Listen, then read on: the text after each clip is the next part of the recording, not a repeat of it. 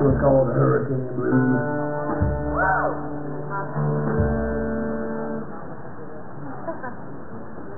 I wrote this after uh, a couple hurricanes came through my hometown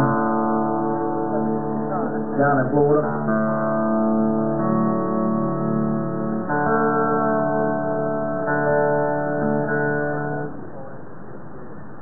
Anybody that's been through it can relate.